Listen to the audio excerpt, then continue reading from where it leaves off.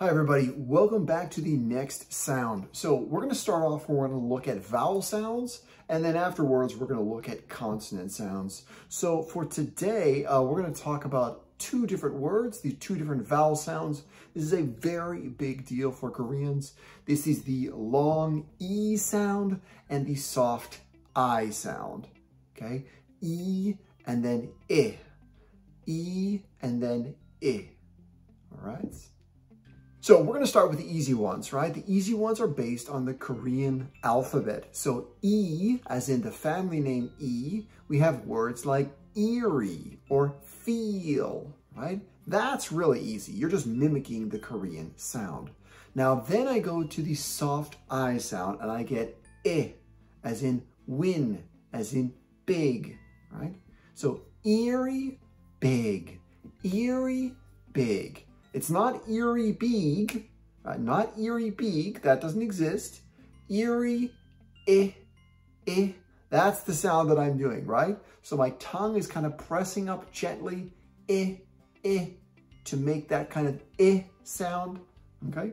Eerie, big, eerie, big, eerie, big. Can you repeat? Right on, slow down, you're doing great. All right. Let's continue with the next set. I'm gonna look at lean, as in somebody is very slim or strong. Lean, thin. Lean, thin. Again, you might feel tempted to say thin. Nope, that's not a word, right? E, e, e, e, e, e. Can you repeat?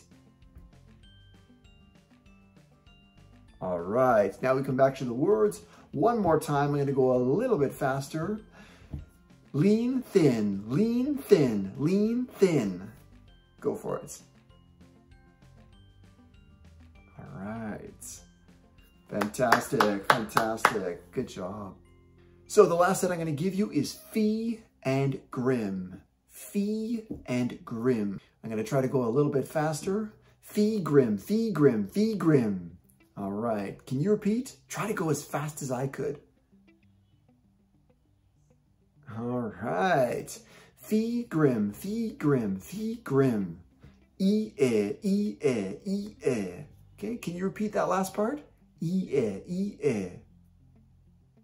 All right, good job, good job. Again, we're still going to be sort of battling this sound, right? But I just want to kind of expose you to this model if you can differentiate these two vowel sounds, you're good, right? If you can differentiate them, you're good. Awesome class. I'll see you in the next one. Take care.